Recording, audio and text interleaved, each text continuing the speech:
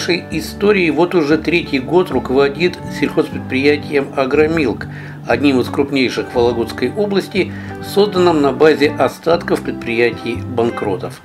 Три года назад Сергей Блюма приехал в Череповецкий район из Москвы, чтобы проконсультировать новых владельцев компании.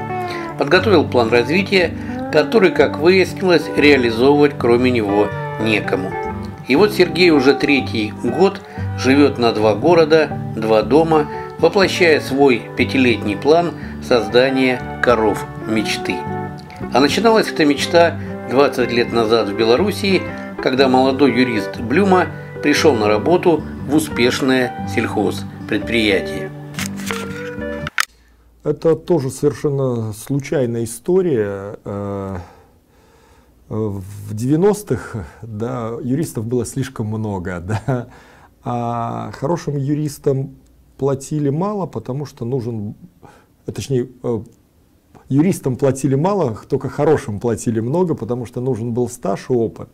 А у меня его было немного по, по тому направлению, по которому я хотел работать. И э, как стартовая такая площадка был, потребовался юрист э, в сельскохозяйственное предприятие. И там хорошо платили, удивительно хорошо. И я пошел туда попробовать, а базово, когда предприятие хорошо отстроено, а там был замечательный руководитель, я, наверное, только одного человека за всю свою жизнь могу назвать шефом, вот это его, Тимофей Тимофеевич Солонович. Я пришел туда э, юристом, и ну, работы немного. Хотя предприятие большое, более полутысячи человек работало. И когда ну, сидишь, свою работу сделал и не знаешь, куда себя применить. Начинаешь в одно вникать, в другое. И так шаг за шагом расширялись компетенции, направления деятельности. Ну и в последующем как бы, я стал заниматься активно генетикой, селекцией. А потом уже переехав в Россию, это вообще стало как направление деятельности. А генетика, это, знаете, это в неком роде мечта, да, потому что ее невозможно пощупать, э, надо очень долго ждать, увидеть. Да, с момента, как ты взял дозу семени, да, и до того, как эта доза превратится в корову, дающую молоко, проходит минимум три года, а когда ты на самом деле можешь оценить, э, что это та корова, которую ты хотел. У нас, кстати, после этого появился лозунг «Создай корову своей мечты».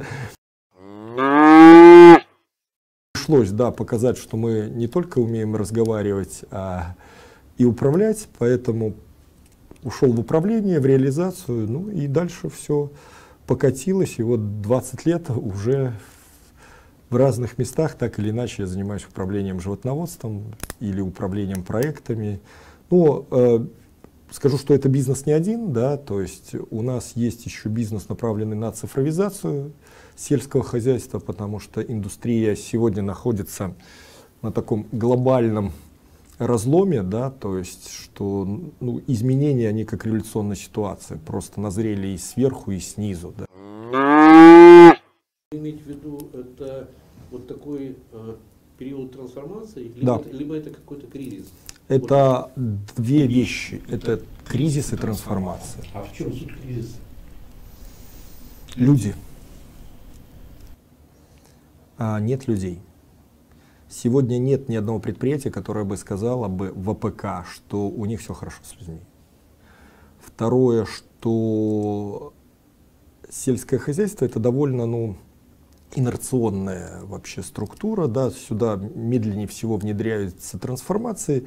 Ну, это даже как вот Аузан говорит, да, это культурологическое, да, то есть, э, поэтому, как бы, как бы мы ни хотели, она такая отрасль. И новизна тут тяжело приходит, многие вещи тяжело приходят, и, наверное, сама производительность труда тут не самая высокая в сравнении там, с Северсталью и Фосагро, да, а людей настолько не стало, что э, оплата труда тут растет э, быстрее всего темпами во всей остальной отрасли. Если я пришел сюда три года тому назад, средняя заработная плата была 31 тысяча, то сегодня она в два с половиной раза выше. Ну, то есть почти в год мы увеличиваем среднюю, ну, то есть расходы на персонал, хотя я пришел было 220 чем-то человек, 221, по-моему, сейчас у нас 117, да, то есть как бы, а, разломы такие, людей уже нет, все, старых кадров нет.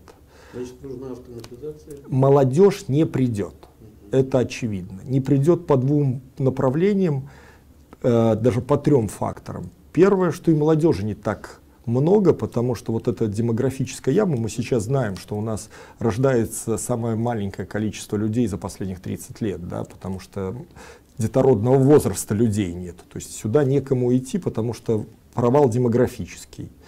Второе, что сегодня появилось очень много источников зарабатывания, которые не требуют ну, таких усилий, как в ВПК. Да? Там, ты пошел, вот Озон у нас прямо тут стоит. Ты сидишь, отгружаешь, получаешь, получаешь своих тех же 70 тысяч. Да? да. Курьеры, кстати, получают больше, чем директора сегодня, потому что это сделка, как бы, да, и в этой части. То есть удаленка, да, люди стали понимать некоторые, что мне не надо этих денег, зато я сижу дома, да, как бы пиджак у меня до пояса, а там сланцы, да, и как бы я решаю эту задачу. Э, то есть вторая часть, что деньги сегодня стали зарабатываться совершенно по-другому, не было такого мотива. Я в 90-е готов был работать бесплатно, чтобы получить опыт, чтобы получить стаж, чтобы куда-то меня взяли. Сегодня я готов взять любого, мне все равно, что, лишь бы только порядочный человек был, единственное требование. Ну и желание какое-то. А все остальное мне не надо. Я честно, вот сегодня приходил человек наниматься на должность специалиста, не поверите, я даже не спросил, есть ли диплом. Вот не то, что мне все равно, а то, что не так много, да, хотя мы в городе, мы не где-то там 300 километров на оленях, да, то есть Череповец город по уровню, я сам из Москвы, да, то есть семья у меня там живет. Череповец это город, в принципе, инфраструктурный, как столичный. Классные кафешки, пешеходная зона, есть театр, как бы ледовый дворец, такой дворец, секой дворец, как бы приезжают, музеев очень много, но люди не идут. И третья часть, э, почему проблема, на самом деле, это тоже такой один из моих визионерских э, лозунгов про цифровизацию, но объясняющий, почему так. Мы с коровами разные. Коровы спят урывками по 15 минут. Коровы едят постоянно. А люди хотят спать 8 часов. Коровы едят 24 часа в сутки, 365 дней. Да? То есть их нельзя выключить даже как станок. Там, мы знаем, дом ну, нельзя остановить, но какую-то, если электроплавильная печь, ее можно остановить, корову нельзя остановить. Ты должен быть рядом с ней корова как человек может болеть, у нее есть даже смены настроения, удивительно это так. Поэтому работа с коровой это тяжелый труд. Опять-таки, э, корове 20 градусов тепла это жарко, а человеку 20 градусов тепла это холодно. Поэтому мы с коровами сильно разные, поэтому работать с коровами тяжело. А если работать не с коровами, а на той же земле, да, э, мы северный регион, у нас короткие циклы, мы, у нас в поле можно войти в июне условно, и вот все, уже сейчас мы не пашем, потому что избыточная влажность. То есть ты должен в этот узкий промежуток работать максимально интенсивно. Поэтому у нас рабочий день э, с 7 до 7, да, как бы, но в то же время, да, люди хотят отдыхать. Вот мы, к примеру, в этом году вообще три года тому назад, когда я пришел сюда, опять уже понимая, и я много по всей России работал, от, до Камчатки в прямом смысле слова, видя, как уже какая ситуация в разных регионах, понимая, что мы стали какие-то вещи разворачивать к людям. У нас рабочий день везде начинается с 8.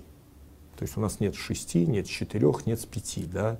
Как бы у нас уже есть четкие установленные выходные. Да? Вот если даже мы говорим о полевых работах, вот в этом году воскресенье четко всегда. Солнце, не солнце, дождь, не дождь, замечательная погода, не замечательная.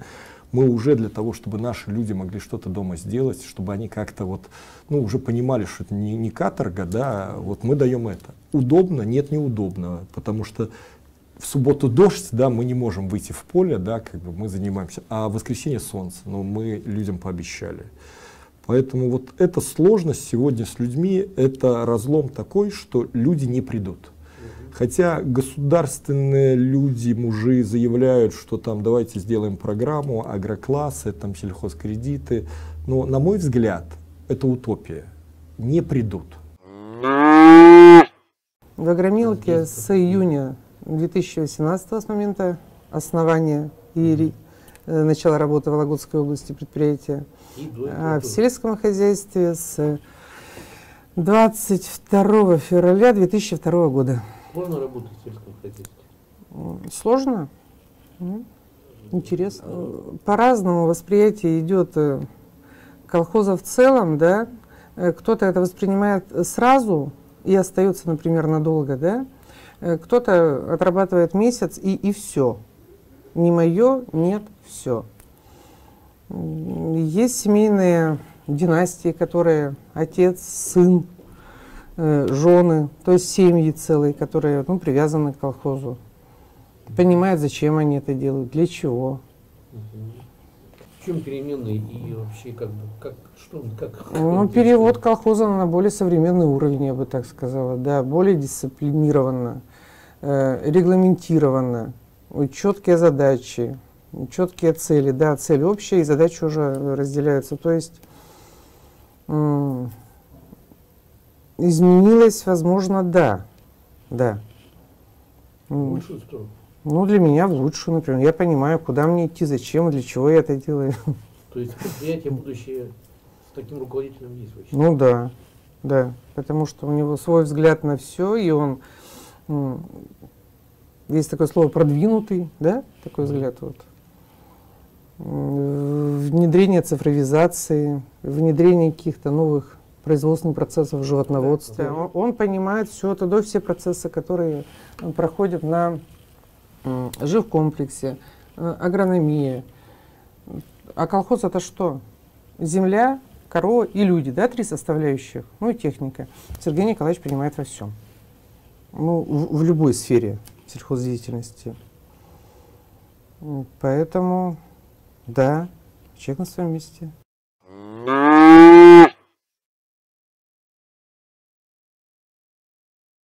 Поговорили о проблемах, а вот вторая часть вот этого разлома, то есть вот куда э, вы движетесь и э, какие основные моменты, которые, на ваш взгляд, могут э, принести успех? Сейчас, ну, я в данном случае, знаете, как бы скажу и свою точку зрения, но в глобально на рынок, и могу ну, по истории своей сказать. Что я сегодня вижу? Да, та ситуация, которая есть в России, она надолго. Это не решится ни через год, ни через два, ни через три. Это надо понять. И второе, что население во всем мире растет и по экспоненте. Причем максимально оно увеличивается в тех регионах, которые не являются основными производителями продуктов питания. То есть где есть ничего? Ну, где их сложно, да. На самом деле, наверное, кстати, один из крупнейших производителей молока Индия, да, ну, потому что там коров космическое количество, да, но сами результаты не выдающиеся, да.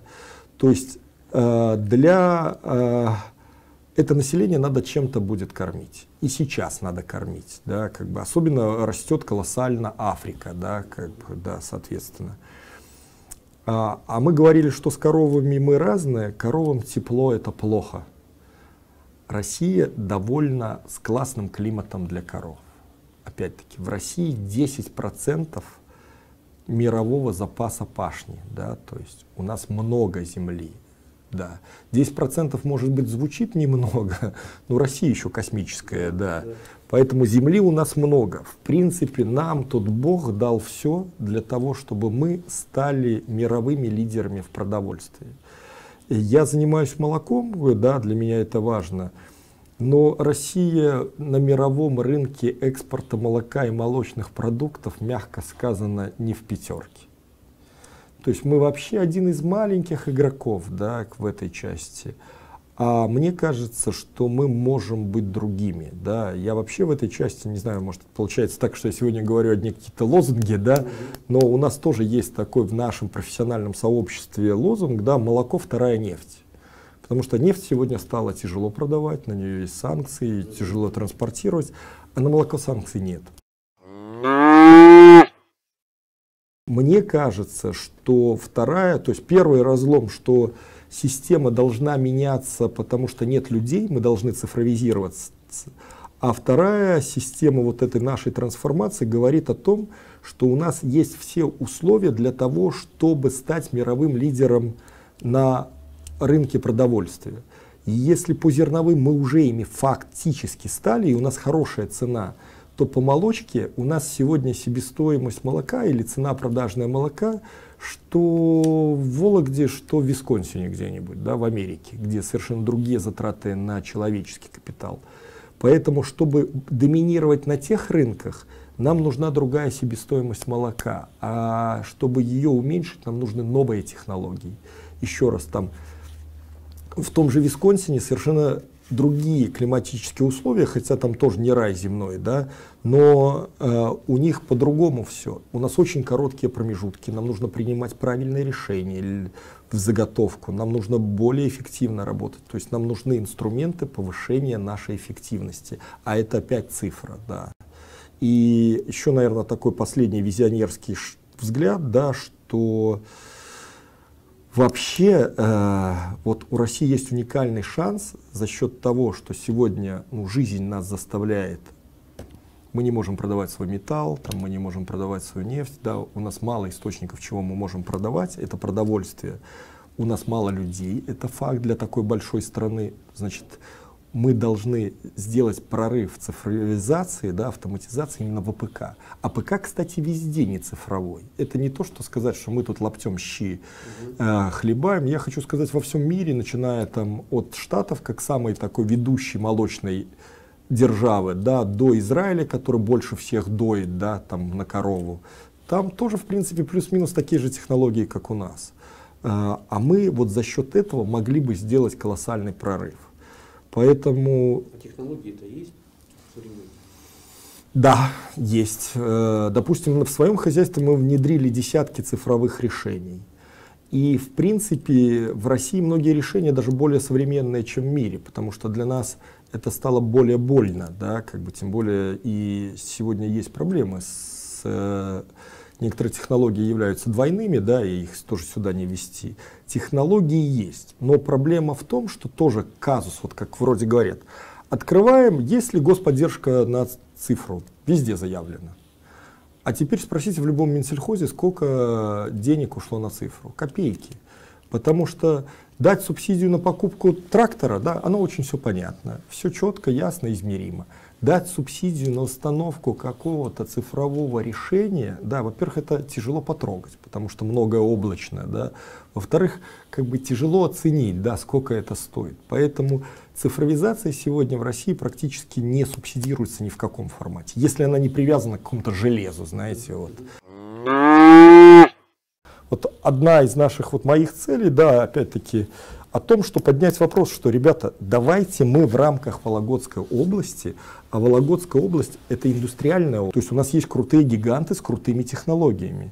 Так может быть нам стоило бы и АПК сделать лучшим сегодня, вот лучшим Вологодской области. Мне кажется, сегодня команда, я вот вижу, я не знаком ни с кем из руководство Вологодской области, ну, просто у нас своя корпоративная политика такая, знаете, удаленность от власти. У нас хорошие отношения только с администрацией гор... Э, района Череповецкого.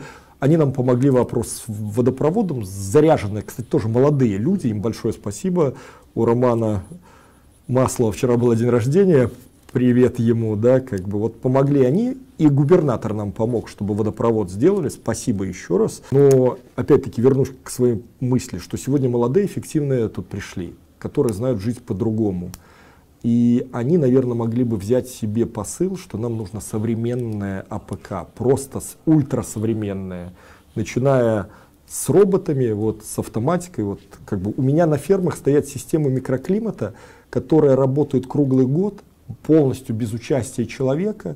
Надо они охлаждают корову, надо они обдувают.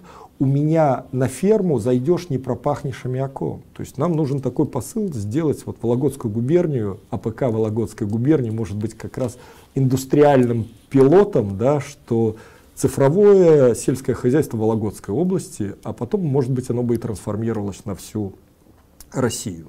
Ну, я адепт этого, я к этому иду. Ну расскажите, как это будет без тракториста, без горючего? А? Представь себе, вон там идет трактор, а в нем никого нет. собрать центр управления предприятием в одно место. Вот как в РЖД, да, вот вы приходите, у него, как на атомной электростанции, как вот я как бы большой любитель авиации, да, там есть центр управления полетами. Вот у тебя все перед глазами. Я сегодня вижу, как бы одна из таких задач собрать всю информацию со всех мест. И вот должен сидеть человек, который видит все. Вот у него алармы, вот у него э, результаты на дашборде, да, как, какие. Вот он понимает, где у тебя хорошо, где плохо, и он сидит и, и выдает команды для исполнения.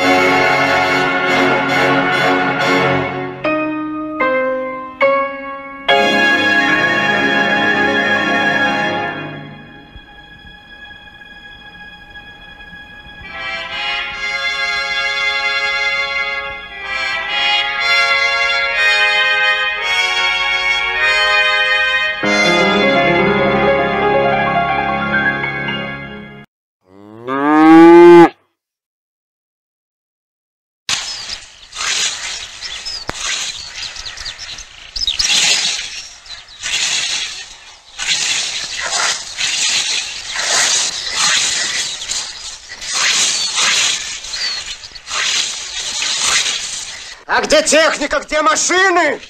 Вы недооцениваете поэзию ручного труда. Ай! Слушайте, тут немножко по-другому. И, кстати, я в профессиональном сообществе со своими коллегами сильно спорю. А многие говорят, что нам нужно сельское хозяйство для того, чтобы ну, были люди на селе, да, ну, и да, да. да.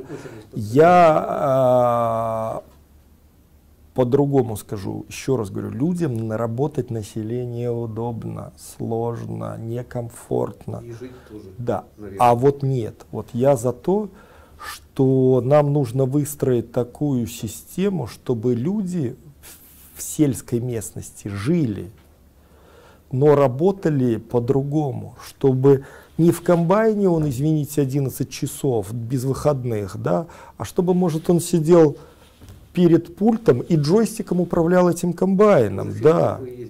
Да, да, да, да, да, да, нет. Чтобы он управлял этим дроном, чтобы он, управ... чтобы он сидел, мониторил, вот, опять-таки, как я сказал, ЦУП. Для этого ЦУПа не нужно сидеть на ферме, ты можешь сидеть хоть на Марсе, да, как бы. Я за то, что нужно создать такие условия, при которых, чтобы наши люди не убивались тут, но жили на селе, потому что вот у меня у самого есть дом, да, как бы, но это же любо дорого выйти, птицы, пруд рядом, да, как бы зеленое все вокруг, хороший воздух, да, как бы все, это замечательно. И наоборот, люди должны уезжать с больших городов.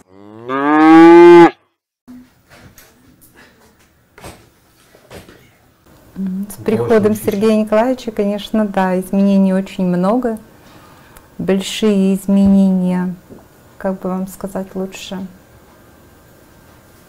Но ну, с ним интересно. Он очень грамотный. Чем удается мотивировать? На самом деле это очень сложный вопрос. Мне кажется, что... Да. Потому что если раньше мы мотивировали рублем, рубль сегодня не работает. Если, когда я пришел в отрасль, очень хорошо мотивировалась кнутом. Сегодня кнут, по сути, под запретом, потому что людей нету да, в этой части. Скорее, это индивидуальный разговор. Второе, что, наверное, для некоторых это возможность самореализоваться. Да, для некоторых, кстати, тоже вот немаловажный фактор, у меня есть несколько сотрудников ключевых, очень мной ценных. Они работают тут, потому что они видели банкротство Октябрьского, да, и они хотят работать в агромилке, чтобы, чтобы наоборот, чтобы восстановилось то, что было. Поэтому, наверное, единого стандарта э, мотивации нет. У меня нету KPI, как ну, модно на многих предприятиях, потому что я вижу, что для нашего формата KPI не работает. Стараемся индивидуально искать. Ну, ну, заряжать тяжело, да. Поэтому с каждым по-своему. Не могу сказать, что наше предприятие сегодня пример выстраивания отношений, но стараемся, и я сторонник привлечения молодежи.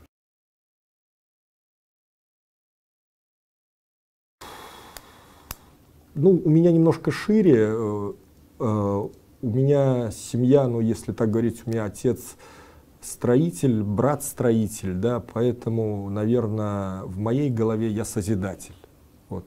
Я хочу созидать. В принципе, наверное, не могу сказать, что, еще раз, я точно никогда не мечтал работать в ВПК, и если бы мне кто-то сказал, когда я учился в школе, что я буду руководить, условно, председателем, я бы засмеялся и сказал, что вы что, шутите, да? Да, нет, э, я созидатель, я хочу созидать. Просто я нашел тут свое место, да, это первое. А второе, что на самом деле, может быть, может быть вот почему я тут. А в промышленности за 30 лет не произошло революции. Она сильно изменилась, но революции не произошло. Роботы были и до этого. А АПК вообще во всем мире революционно развивается, а российское АПК революционно колоссально. Потому что еще 20 лет тому назад 4000 удоя на корову, это было очень интересно. Сегодня у нас есть примеры, когда хозяйство доит 15 тысяч литров на корову, да, как бы, что вообще не представлялось. То есть это самая динамично развивающаяся отрасль. Я учился во многих местах за рубежом. Как бы я посмотрел мир, я до сих пор имею контакты там, с людьми, которые создают индустрию. Мне тут интересно. Вот я тут, потому что мне интересно, и есть возможность создать. Вот, наверное, это моя личная мотивация, почему я встаю рано, почему я на выходные летаю к семье, да, почему я э, где-то ну, кого-то пинаю, себя пинаю, я надолго тут. Ну и я хочу, чтобы людям рядом стало лучше, потому что, еще раз, у моих сотрудников есть кондиционер, у меня нет кондиционера. Я хочу, чтобы вначале им было хорошо. Мои сотрудники ездят на служебных машинах, я езжу на своей. Да, как бы. Я хочу, чтобы было у них будущее. Я хочу, чтобы люди ели нормальную еду. А мы еду предлагаем не из пробирки, не с какой-то там что-то намешанное. Мы делаем классные настоящие продукты. У нас замечательное молоко. Мы работаем с вологодскими предприятиями. Я сам хожу в магазин и покупаю продукты партнерам, которым я сдаю молоко. Потому что я знаю, что у меня никогда не примут с антибиотиком. И я никогда сам не сдам. Я знаю, что если у меня что-то, какое-то отклонение, они мне первое скажут. Я сам знаю, что я хочу, чтобы я не с кем-то договаривался, а гордился своей работой.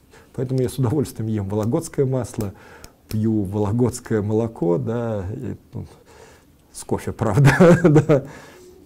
Наверное, так.